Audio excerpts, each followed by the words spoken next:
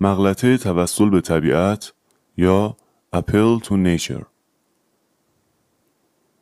مغلطه توسل به طبیعت زمانی رخ می دهد که فردی ادعا کند رفتاری موجه است زیرا در طبیعت هم این چنین اتفاق می افتد یا برعکس ادعا کند رفتاری موجه نیست زیرا در طبیعت این چنین اتفاق نمی افتد. مثال اول میلاد الان مد شده اینایی که به ظاهر روشن فکرن میگن خونداری و محافظت از بچه ها لزوما وظیفه زنها نیست و اونا هم می‌تونن مثل مردا کار بیرون از خونه انجام بدن. آخه آدم که نمی‌تونه با طبیعتش بجنگه.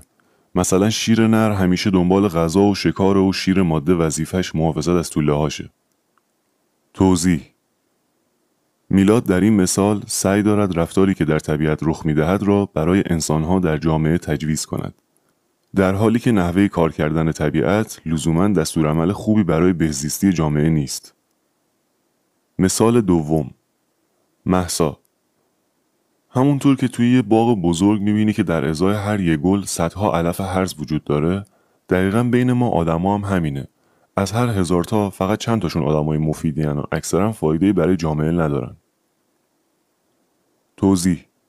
در مثال بالا محسا با استناد به نسبت تعداد گل و علف هرز در باغ سعی دارد آن را به جامعه نسبت دهد و دچار مغلطه توسل به طبیعت شده است.